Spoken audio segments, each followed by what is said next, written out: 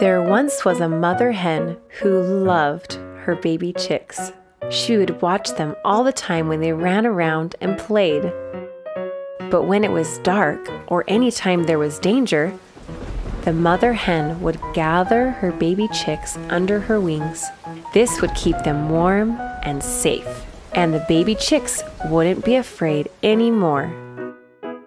As the baby chicks got older, they got more curious.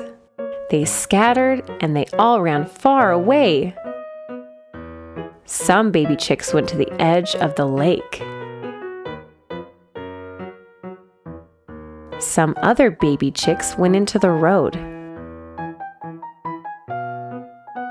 Some other baby chicks went into the forest. And some other baby chicks went into a cave. It started to rain, and the baby chicks were cold and scared.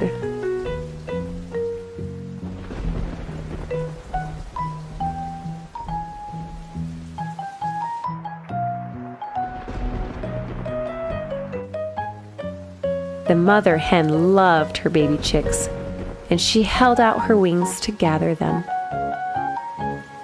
But they wouldn't go to her.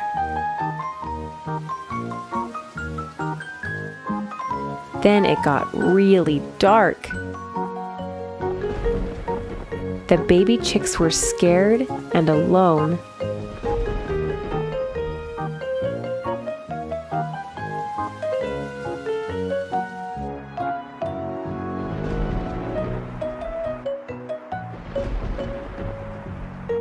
The mother hen loved her baby chicks, and she held out her wings to gather them. But they wouldn't go to her.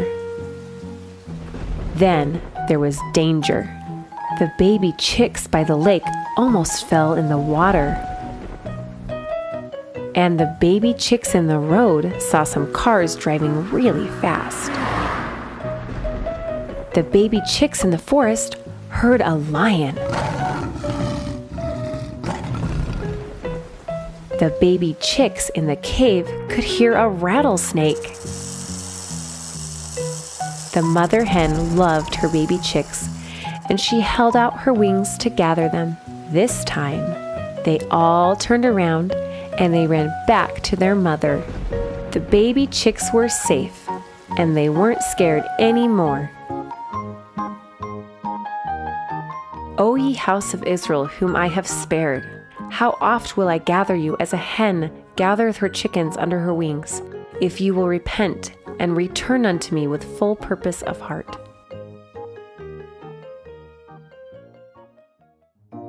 Did you know we create lesson plans and activity pages to go with our videos every week? They're made by a professional teacher just for kids. Tell your teacher. Tell your mom. They're on our website. LatterDayKids.com